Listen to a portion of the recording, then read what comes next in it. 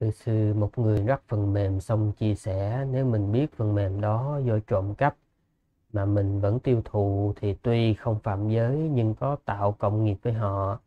Vậy tương tự một người giết thịt xong đem bán nếu mình biết thịt đó do sát sanh mà có mà mình vẫn tiêu thụ tuy không phạm giới.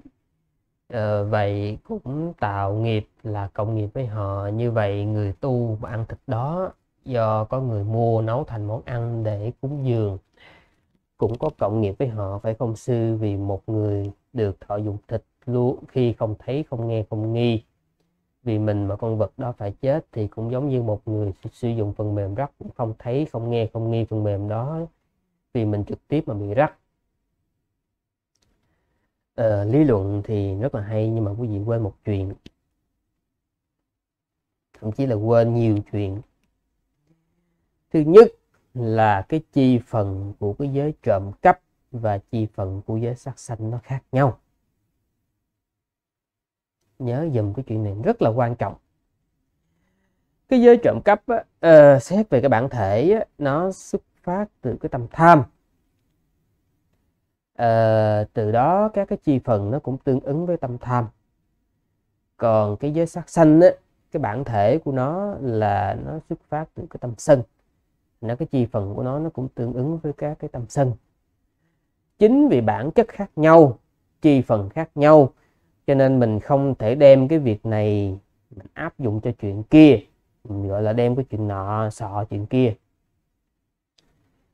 Bởi vì như vậy đó, thì mình chỉ có nhịn đấu chết. Và thậm chí là mình không làm được bất kỳ một chuyện gì mà mình chỉ có chết thôi, quý vị biết không? Sư đưa ra một cái những cái ví dụ để cho quý vị thấy là do chi phần khác nhau cho nên mình không thể áp dụng được. Như thế này. Cái thuốc thuốc mà chúng ta có ừ, cái nền y tế mà chúng ta đang thợ thừa hưởng chữa bệnh có được do đâu? Đầu tiên để nghiên cứu những cái thuốc đó có rất nhiều những cái động vật đã phải chết vì cái sự thử nghiệm mà mình dùng cái từ tàn bạo. Rồi quý vị có biết là có những cái xứ nghèo mà người ta phải kiếm tiền bằng việc là thử thuốc cho những công ty dược phẩm, quý vị biết có chuyện đó không? Và rất nhiều người chết, quý vị biết chuyện đó không? Mà nếu như theo cái kiểu lý luận đó là mình phải chịu trách nhiệm cho cái chết của người ta bởi vì mình thọ, mình thừa hưởng cái nền y học.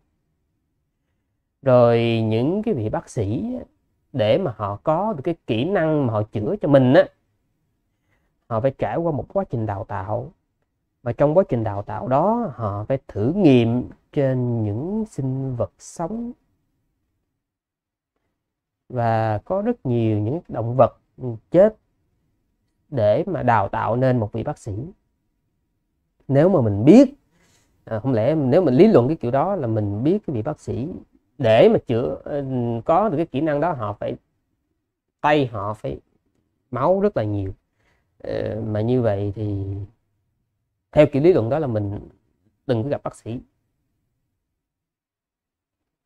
Do cái hiểu biết sai lầm. Ừ. rồi nếu mình cái kiểu lý luận như vậy đó kiểu lý luận như vậy cái y phục mà mình đang mặc như vậy nè ha. Để mà nó cái vải nhuộm á cái vải nhuộm vì biết cái hóa chất nhuộm nó độc lắm không? Mà khi nó xả ra đó rất nhiều sinh vật chết. Thì đương nhiên cái người mà nhuộm á họ tạo ác nghiệp. Rồi quý vị có biết có nghe có nghi không? Rồi quý vị mua cái đó về mình xài. Mà theo kiểu lý luận lý luận đó đó à, thì mình tốt nhất là mình đừng có mua vải, đừng có mua đồ, không có mặc đồ. Thì như vậy là mình theo cái trường phái cực đoan của Nigantha tức là không có mặc đồ gì hết. Bởi vì mặc đồ á, thì người ta phải nhuộm, mà nhuộm như vậy thì nó sẽ à, ảnh hưởng đến chúng sanh khác. Cái cách suy nghĩ đó rất là cực đoan, quý vị biết không? Rồi nói cái kiểu như quý theo cái kiểu suy nghĩ cực đoan như vậy đó thì ngay cả hạt gạo mình cũng không được ăn. Bởi vì người nông dân khi mà họ trồng lúa đó rất nhiều những cái động vật ở dưới đất nó chết. Ha, cày ruộng đó. động vật ở dưới nó chết nhiều lắm. Rồi họ trồng trọt xuống rồi họ phun thuốc trừ sâu động vật chết nhiều lắm. Con sâu con này con kia chết nhiều lắm. Rồi họ thu hoạch được thì để có được những thứ đó họ phải người nông dân phải tạo rất là nhiều những ác nghiệp. Rồi quý vị có biết có nghe có nghi không? Mà nó theo cái kiểu như vậy thì mình rốt cuộc là một cái hạt gạo mình cũng không có được ăn. Một cái cọng rau mình cũng không có được ăn. Và thậm chí là một mình cũng không được ở trong nhà nữa. Bởi vì sao? Bởi vì gạch á, là họ phải dùng đất họ nung đúng không?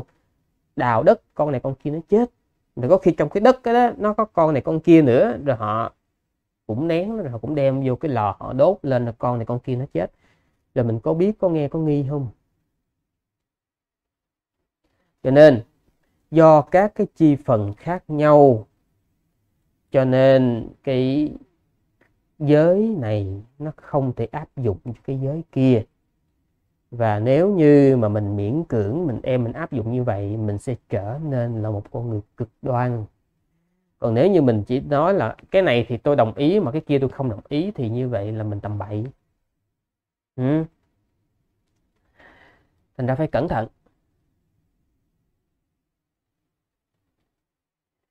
Ờ, nó cẩn thận. Ừ. tránh cái thái độ cực đoan. Như sư nói.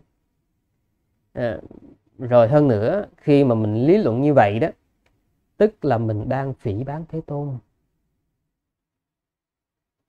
Bởi vì sao? Bởi vì thế tôn nói rằng đó, thế tôn nói rằng cái thực phẩm mà không thấy, không nghe, không nghi là thực phẩm hoàn toàn trong sạch. Tức là mình mua hoặc mình thọ dụng là mình hoàn toàn không có cái sự cộng nghiệp ở trong đó. Mà nếu như mà mình nói là mình có cộng nghiệp như vậy là mình không tin thế tôn. Và mình phỉ bán lại lời dạy của thế tôn. Ờ, quý vị không tin thì mở cái bài kinh tướng quân si ha ha ở trong tạng luật trong tạng luật có trong tương ưng cũng có. Ờ, cho nên tỉnh táo để tránh rơi vào cái thái độ cực đoan ừ?